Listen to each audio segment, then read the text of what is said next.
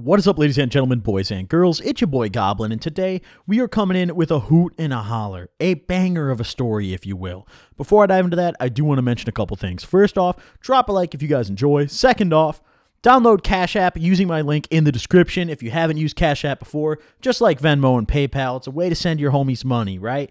You download that, we both get a free $5 just for you trying out the app. Costs no money, it's completely free. If you're not familiar with Cash App, who the fuck are you, bro? You should be. Come on. Y'all are some crackheads. Everyone knows what Cash App is. If you guys download that link in the description with my link and sign up, we both get five bucks deposited into our account. It's lit, baby. Five bucks. That's blunt money. Links in the description if you want some free cash, baby, just for downloading a free app, the Cash App. Thank you guys for downloading that in advance. If you guys do, it supports me and you.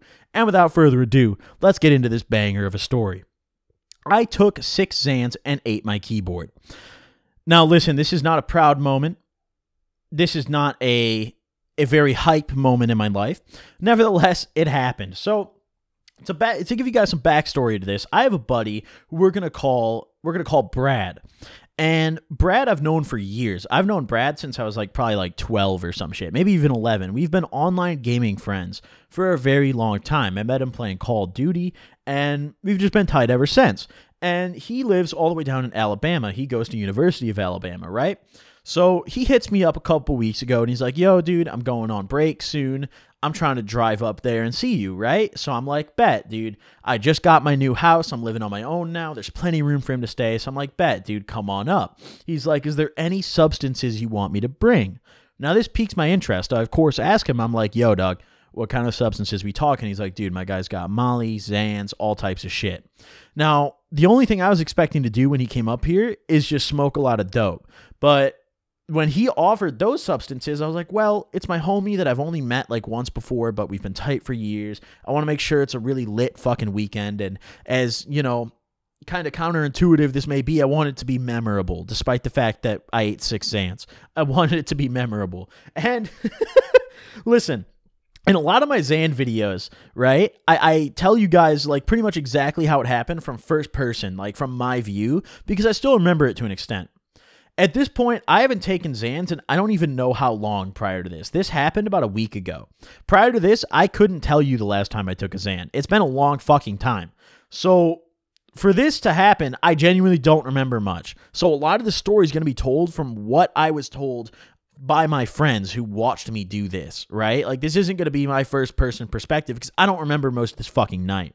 But nevertheless, my buddy Brad, he starts driving up here and he's got, I think it was like an 18 hour drive. And I'm cleaning up the house, getting ready for him. I carried a futon up to the loft area where I, I stay at. It's my bedroom. The whole loft is just my area.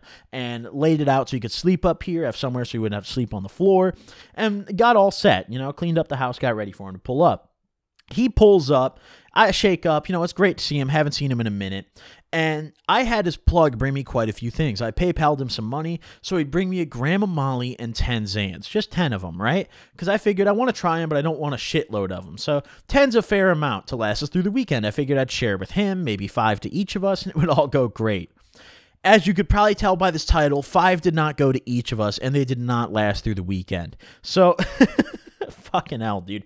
Nevertheless, he gets here and almost right off the bat, we start getting lit. You know, I bring him upstairs. I introduce him to my roommates that he'd never met before. We're all chilling upstairs, and he brings this nice bong. He has a little Illadelph bong, and it's fucking nice, dude. The glass is great quality, so we're smacking the hell out of this thing. He brought about an ounce of bud with him, so we're just packing up some bowls, smoking some dope, trying to figure out what to do on our first night. He got here on a Friday, and we're like, yo, you know, it's a weekend, but in my area, there's not a ton of stuff to do when you go out, so all the fun we were going to be having was in my house, and that means drugs. So, of course, he busts out the Zans, he busts out the Molly, and I'm looking at him, right? I'm, I'm taking a look, I'm scoping him out. The Zans look good, right? Now, listen, this is some goblin advice here. This is some some fatherly advice here for all my children listening here.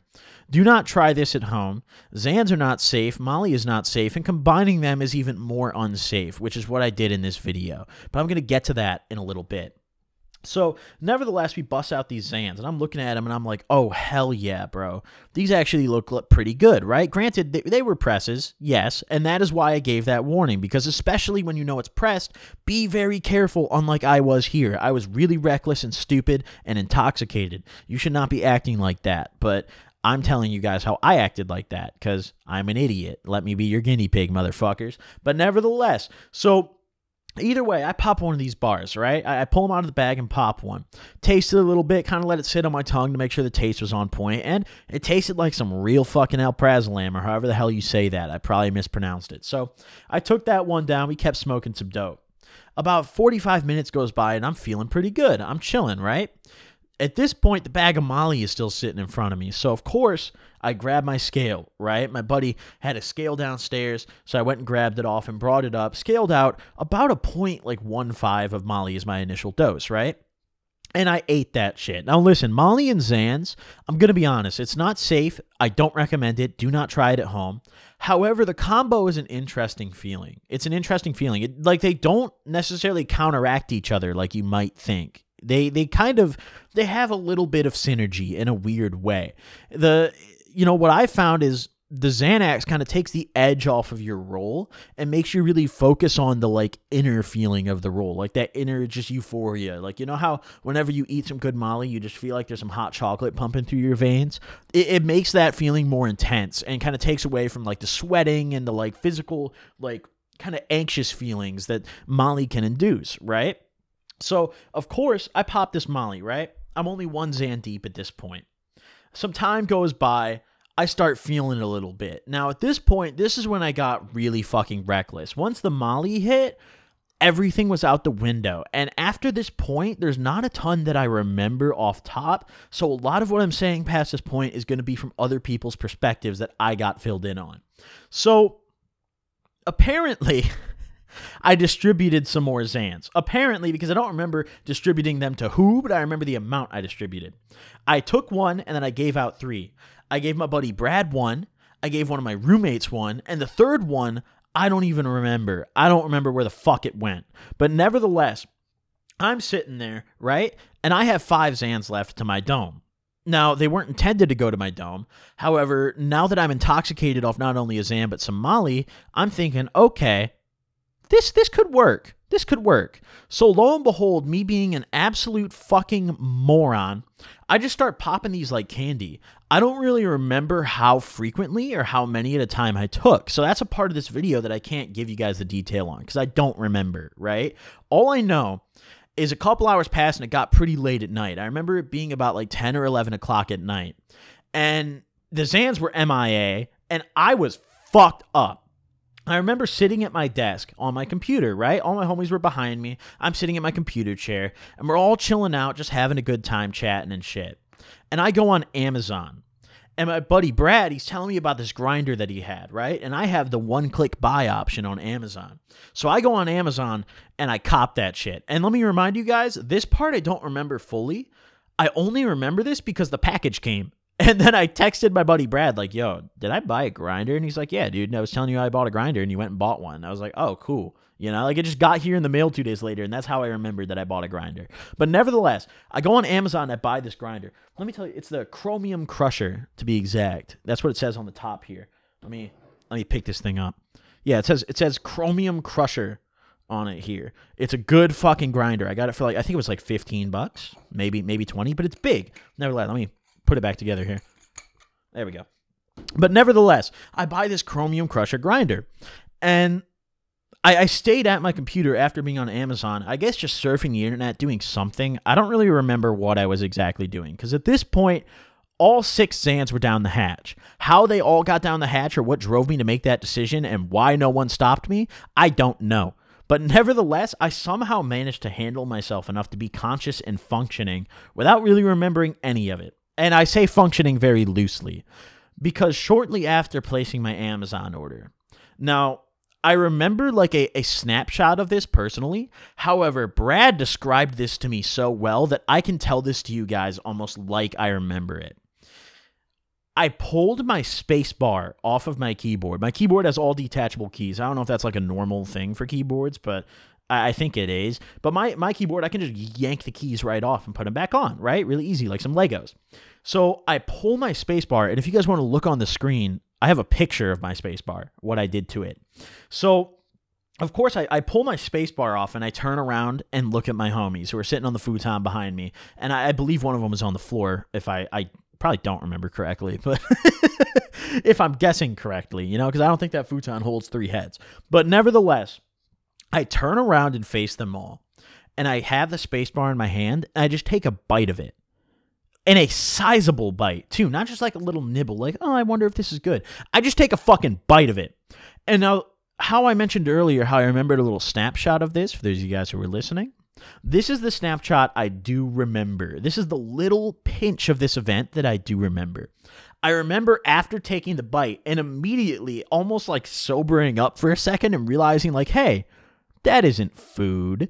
And I spit it out and I found the little chunk of my keyboard in the garbage the next morning. In the garbage the next morning. It was it was fucking it was despicable. Listen, I don't think I've ever had this low of a point as to eating six Xanax and taking a bite of my keyboard. This really made me reconsider quite a bit of aspects of my life, right? I- am sitting there like the next day I woke up and I go over to my desk, right? And I sit down, get ready to use my, my, you know, my computer and my keyboard's not on my keyboard. So I'm looking around. I'm like, yo, what the fuck happened to my keyboard, bro? Like, where'd it go, dude? Like, where's my space bar, bro? And I'm looking all over the place and I find it on the ground under my desk with a chunk missing. And initially, I thought like I dropped it, like I pulled it off or something and stepped on it. I had almost no recollection of the last night. So I just figured, oh, I must have stepped on it, snapped it or something. And Brad, he wakes up because I woke up pretty early. I woke up before him and like went over to my PC. He wakes up and I'm like, yo, dude, what happened to my space bar? And he just starts laughing. He's like, oh, you don't remember that? He just starts dying. And I'm like, nah, not really, bro. Like, what? Like, and I, I didn't understand why he was laughing. I was like, what, like, what happened? And he's like, dude, you ate it. And I was like, what? Like, I, I don't, I was like, yo, pardon me, dude. Like, hello? And he's like, yeah, dude, you fucking tried to eat it. And I was, I was like, dude, dude, there is no, like, you have to be trolling me. Like, there's no way. So I go downstairs with the spacebar in my hand and I talk to my roommates and I'm like, guys, what did I what happened to my keyboard? Like I think Brad's fucking with me right now, dude. Can someone just tell me what happened to my keyboard? Because the space bar is still on my keyboard to this day. It still works. I haven't bought a new keyboard. Like I didn't bite off enough of it to ruin it. It's still a keep. It's still a space bar. so I'm keeping it. But mm, I, I feel like it actually adds to the value of this keyboard. Like if I ever get famous one day, I could sell this keyboard on eBay. Like, hey guys, this is Goblin Xanax keyboard. He actually took a bite of it with his real mouth. It's gonna go for two racks, you know? like this is an artifact. This is a memory now. Every time I sit down at my desk, I look down and think, oh yeah, that's why I shouldn't take Xans, you know? Now, let this be a lesson to all you little fuckers out there. Do not take Xanax. Do not take Molly. And do not fucking mix them. Because if you do, you'll eat your keyboard like I did. I literally tried to eat my keyboard. Now, I wish I could give you guys more detail on what happened this night after that, but I have no idea. I genuinely cannot fucking tell you. But there's going to be more stories coming out of this weekend. He spent, I believe it was three days here. I think he got here on Thursday and left Sunday evening, Sunday around noon, maybe 1 p.m. So there was three days of us just getting lit. And all the days except this particular night, I remember vividly. So we're going to have some banger stories coming out of this weekend with my buddy coming to visit. But nevertheless, Hope you guys enjoyed this little story. Drop a like if you did. Don't forget to download Cash App for a free $5 for both of us. Links in the description. Thank you guys for doing that. Thank you guys for watching. I'll see you guys next time. Peace.